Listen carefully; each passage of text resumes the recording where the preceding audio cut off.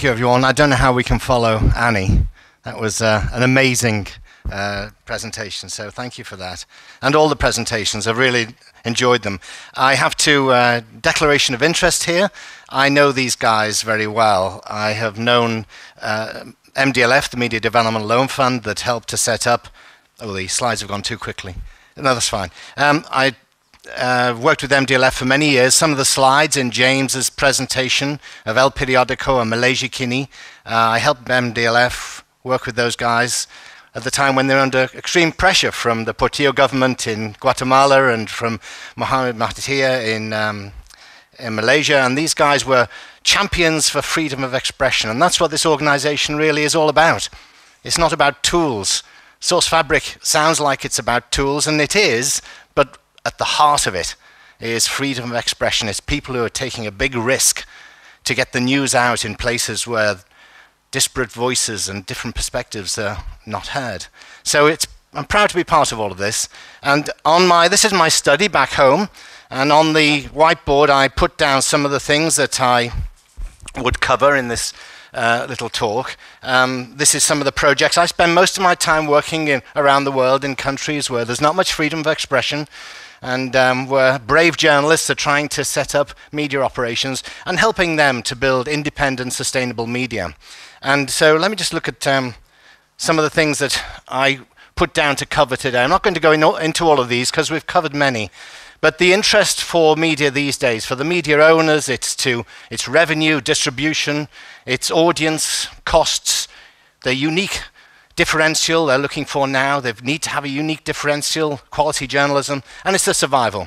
For the market, it's also reach, inventory, for the advertisers, new opportunities, for the journalists, what they need and what Sourcefabric are building are tools that's intuitive and take the complexity away and let us do what we do well.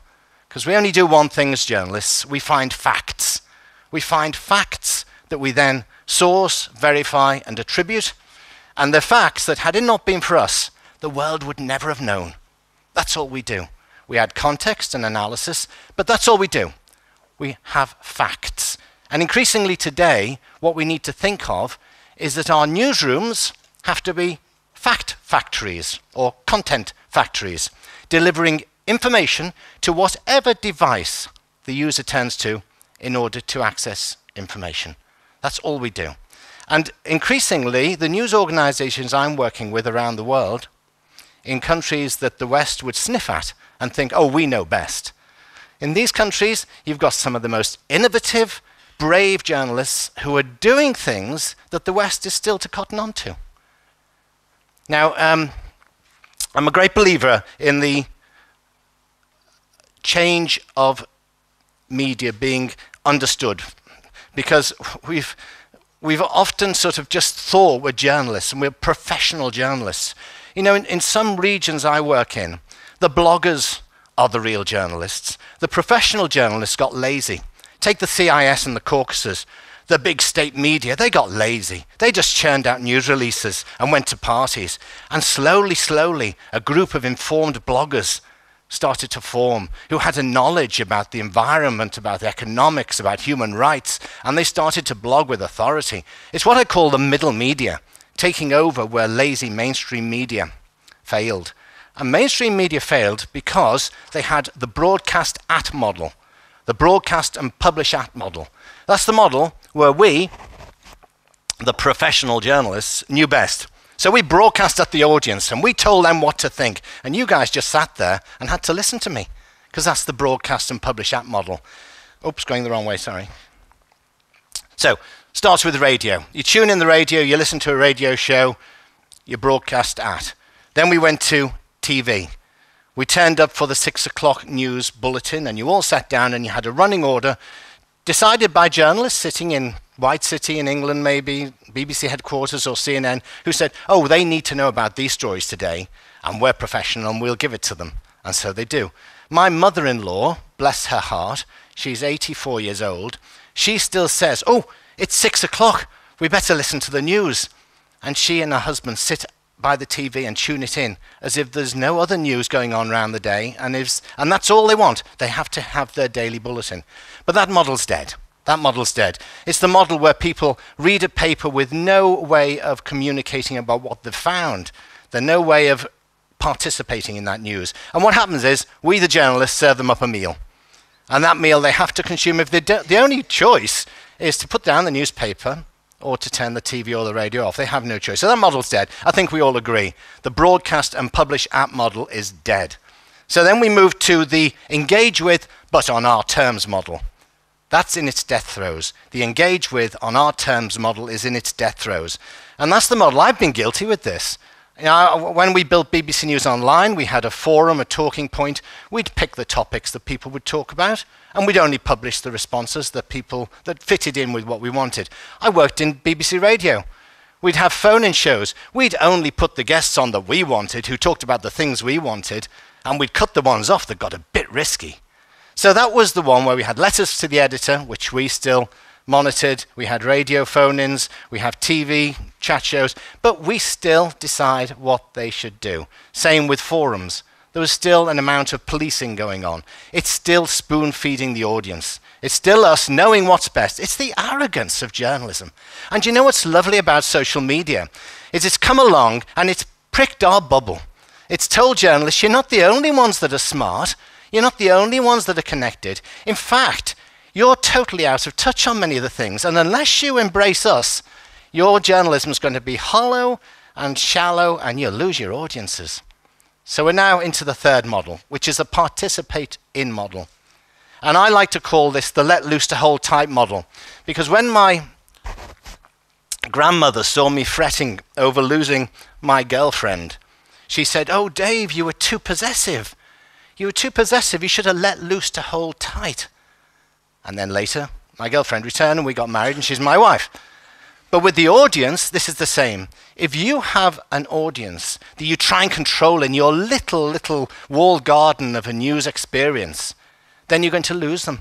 And they'll go elsewhere. And they'll probably go to the place that we all probably go, which is the social media space.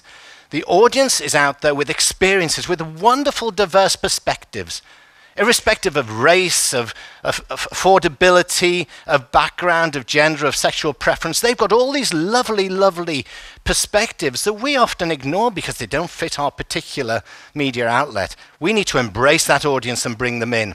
Now, what mainstream media needs to do is get away from regurgitating the wires and press releases and news releases and turning out the same old, same old that everyone else does. And it does happen. When I was working as a consultant with Al Jazeera, I did an interview with the AFP. I was in Doha, and we just launched the coverage of the Gaza uh, dispute over on Livestation, which is a live television platform on the internet. And the interview was to ask me what were the stats. Simple question. So I did the interview with the AFP, and the next morning I Googled my name, Livestation, Al Jazeera, and I uh, found 10 pages of results coming in. Of those pages, there were almost word for word copy paste headlines from the most diverse news organizations, such as um, Arabic news organizations, Israeli news organizations, Western um, news organizations in England, in America, all using the same copy paste. Now, the media cannot afford to do that anymore. They need to go for the differential. They need to concentrate on what they do that no one else does or how they do it. They need to then put their products, so the facts, we need to put the facts out for the audience to come along, rather like a supermarket. We put facts that are fresh. Had it not been for us, the world would never have known.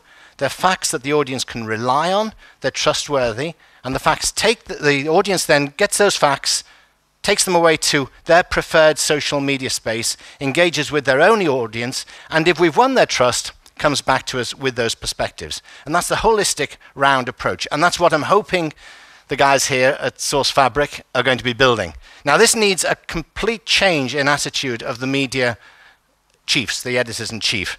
Um, the, there's data behind the reason for this. This changing audience behavior has got massive implications for all of us.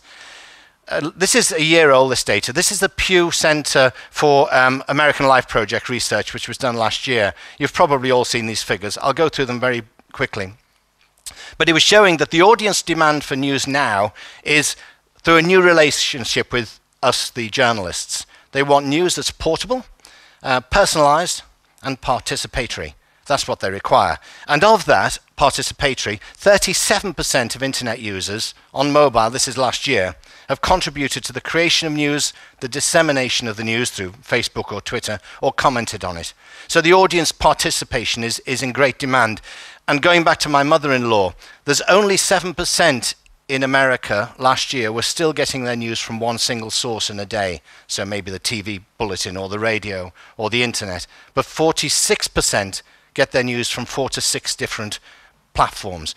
That means all the news organizations we work with and we represent need to become content factories, delivering their content to whatever device the users tend to to access information. now, what this also means, the Pew Research, you can download it. It's some fascinating data, and although it's a year old, it really gives us some clues the way the audience is moving. Um, what it what I think it sums up, and it's about 40 pages long on a PDF, but what I think it sums up is that the days of loyalty to a particular news organization on one particular piece of technology in one particular form are probably gone. So those of us who have not hedged our bets and who just pump out our material on TV, radio, or print it in a newspaper are taking a massive risk because the audience has moved to another place. So all we do as journalists, I'm sure you will agree, we produce facts. Sourced, verified, attributed facts immediately. We don't hold them back. I don't know if you, those in print, know how it works. It, it, you, you get your facts, you hold them back until your next publication. That's all changed. You know, I was looking at the whole Gaddafi story yesterday on the Guardian, the Telegraph, um, on my on the internet here, and they had the live blogging. Know, but go back a year, they wouldn't have dreamed of having the news broken on the online before the print because it would affect their sales. Except they've recognised the audience moved to a different place farm it out to the audience, win the trust, the audience comes back, and it's all part of them building a new business model. So we need to get the facts out immediately in ways that are reusable and multi device. If I go to a website now where I can't share a story or comment on it or add my pennyworth and share it with my peer group, I don't go back again because it's limiting my participation. We need to target the right people for maximum use. So know our target audience, know their needs, know what keeps them awake at night worrying, and attack those issues. Tackle them. Tackle them by including them through the social media side. And I go back to the point that uh, the whole reason we exist as journalists is that we must discover information that had it not been for us, the world would never have known. And then put that out on every device people turn to. So to do that, Here's the super desk. Now I'm building these, not building them, I just go and talk about them and other people build them. But this is a command and control system of how you can make a news organization into a, a multi-platform content factory. It's an efficient news machine that gives you a much better focus on your core editorial proposition, your differential, what you do that no one else does. It gives you improved quality control, it gives you much faster speed of delivery, and it saves resources and costs also it creates new products. The way it works is this. It's rather like we go out to, as journalists, to find our facts. It's like um, someone going out to take the raw material. Let's, let's take wood. So we go and get our, the best wood we can, and we bring it into the news operation, and then we produce it. We make products out of that wood, and then the wood, then the products are sold to the audience, the customers. So if you take that metaphor and go back to journalism, we find facts, we add value to the facts, we add context and analysis and diverse opinions through our social networking, and then we create different products, maybe mobile, maybe iPad, maybe a newspaper, maybe a broadcast. Broadcasters have got to stop thinking of themselves as broadcasters and publishers as publishers. They've got to think as content factories. And the way this works is you have a central desk somewhere in the newsroom where all the key editorial decisions are made, and a number of key players sit around this desk. It can be a physical desk, or it can be a proximity of chairs. Or, as in Vietnam, where I've been working, it can be virtual with screens representing Hanoi, Hue, Da Nang, and Ho Chi Minh City. And what happens is the key editorial decisions breathe the same news air or virtually, so they know everything that's going on. You have an intake editor who knows everything that's going on in the news outside of the building, and they give the alerts of what's coming up and what's happening. You have the output editors sitting in the same space. You have a planning editor who's responsible for planning ahead the stories you're covering, and a resource production manager to make sure there's the, uh, the people to do the stories. That all goes to one side, and then you have your production units. And the production units can be whatever you're delivering to. And the production units then add the appropriate value for the platform they're responsible for. And then that is sent back to the superdesk who check quality control and send it out to the audience on whatever device they're using. A simple workflow model. But going back, it, it's just like any factory. The raw material comes in, with us it's facts. It's produced with us, it's added context, analysis, pictures, graphics, whatever, and then it's put into different products. So this is the Superdesk model. And um, I know the Sourcefabric team are looking at this philosophy as part of a development of the tools they're offering. Tools, free tools for media in need. Fantastic, in any country. And, and these guys are building it based on this philosophy of a content factory. Here's the one in Zimbabwe I'm working with. Uh, Alpha Media Holdings is uh, not the only, but used to be the only independent media house in Zimbabwe. Um, they have a daily newspaper called Newsday. They have a financial weekly called the Zimbabwe Independent, and this one comes out on a Friday.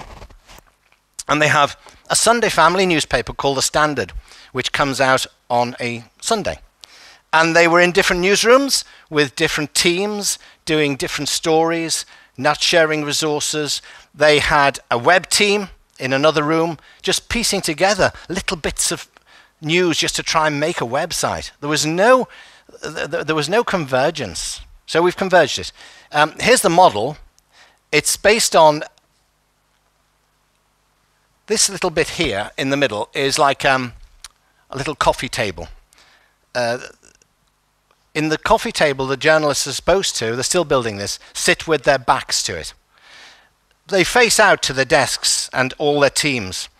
But when the news breaks, they can spin round and have a little meeting, breathe the same air, decide what's the appropriate platform for the maximum impact of that information on the target audience. And that's a decision they can make as the news is developing. At the top of, uh, inside the whole of newsroom is the online desk, central to it, not in another room on a different floor run by non journalists, which sometimes happens. Then you have the different sections and above are the editors of the different brands. Now, the big fear about this was that by bringing everyone together, that you would dilute the differential of the brands, and they're very protective. Each has a different style. No, it didn't actually. They learned to cross promote. They learned to feed off each other's news and do it in a different way for their own target audience using a different newspaper or on the websites that were being consumed by that audience and on mobile. So this has been this is a work in progress. Uh, they're still working on the. They've done two stages so far. They've made savings on the business desk. They've made savings on the sports desk and the general desk because you bring everyone together. And it means that you end duplication and reversion, reverse, reversioning, and you save resources. Um, Vince is the editor in chief, and he gave me a quote for this session he was saying, I said, well, how did the Superdesk go? And he said, well, there's no one way of doing it, but I found that the best way is just get on with it. And he said, but what he's found is that he's released the energy of the group to produce better content. Now, some would have said, you bring all that together, you're going to produce much worse content. It's just going to be vanilla. You're just going to actually destroy the brands. But no, he's saved the energy of the group to build better content. In um, Georgia, in Tbilisi, there's an organization called Palitra. This is their super desk. Very similar. They're still building it, but they were great. I went there and suggested this during a strategy session, and the Irakli, the, the, the boss, said, Can you come to my place today, tonight? I said, Yes. So they drove me over to Palitra Newsroom, and he said, Okay, if we build your super desk, we move that desk there, we move those chairs there, we, we can start working differently, start moving the chairs. It was just about moving chairs. I've been in media organizations where to come up with an idea like this, you'd have six months of a committee formed writing reports to be considered, and procrastination would be brought into the situation. You'd never do anything. But in Zimbabwe and in Georgia and in Vietnam, they do it immediately because they're smarter than us and they realize that they know their audience better. The audience has moved to a different place and they need to connect because unless they do, they're going to be in big trouble. So this is the Palitra one, very similar. It's everyone breathing the same news air. The seats in blue are the influential seats. The section editors, the output editor, the intake editor, the planning editor, they are the ones that make the main calls. They're, they're the protectors of the brand, if you like. And they've got to be talking together. And the interesting thing was how you find how this leads to story exploitation you would never have thought before. I did my first super desk in Belgrade in 2001 with a news agency called Beta News, and they moved the desks. And we did a mock up, we did a paper pilot of how we'd do a story. And it was David Beckham moved to Real Madrid. And David Beckham was really pleased to move to Real Madrid, but Posh Spice, his wife, wasn't that fussed about going to Real Madrid, but she was getting used to it. So we had an entertainment desk, a sports desk, a financial desk, a general news desk, totally separate. We brought the editors onto a super desk and we said, How do we do the Beckham Real Madrid story? Oh, it's a sports story. It's a financial story. It's the biggest transfer. It's an entertainment story. Posh Spice doesn't want to go. It's a general news story. What do we do? We breathe the same news air, and each editor gets their team to add one paragraph of the main story for the general news and then do a specialist sidebar on the other angle of the story, all by having a super desk. It wouldn't have happened before. In Vietnam, this guy's great, um, Lee Quan Dui, a good friend of mine. Um, he introduced the super desk, as I say, with um, Hanoi, uh, Ho Chi Minh City, Hue, and Da Nang um, being satellite offices. They have a virtual wall with screens, and they can um, Skype in and have their morning meeting all through the day. He said his super desk has saved unnecessary costs. It's improved the efficiency of the news organization, but very Vietnamese. It's given us a command and control. They love the military idea of it. They love the precision and the fact that it makes them more effective. So, finally, just going through a few slides, it's not costly. Building a super desk is not going to cost you more money. These are, these are the things that it's not. It's not going to be disruptive. Just move a few chairs. It's about an attitude of mind. It's not going to be hard work because the journalists will be given jobs to do that are far more enriching. You'll probably do fewer stories, but the stories you do will be much more focused on your target audience needs, on the issues that keep them awake at night, and far more likely to resonate with that audience and be shared in their social network space and add perspectives. And it's not going to damage. It's not going to damage your business. It's not a destruction process. What it is, it's the way ahead. It's the only way ahead.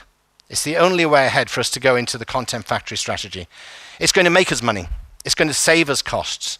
It's going to help us do better quality control. We fine tune our journalism so that it has a differential and it's not like the masses that are going out through the wires fed media. It's going to be, we're going to force our journalists to do a much better product. And it's going to take us into the future. This is the only way we can find new business opportunities and survive. And I was at lunchtime, I was sitting on my laptop and a tweet came in. And I thought I'd share it with you because it's very important to this uh, session. This is from Journalism Co UK today, just this lunchtime.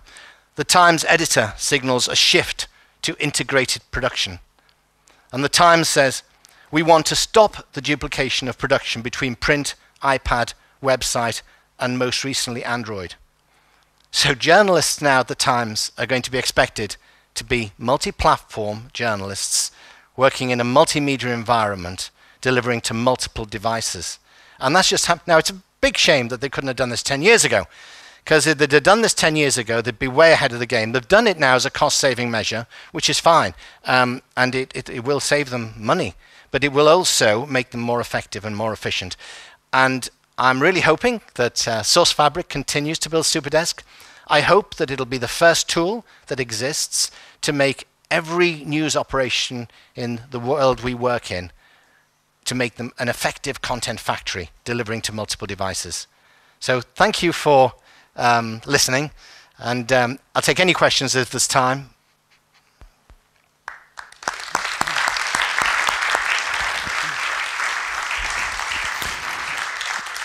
Um, there is a little time.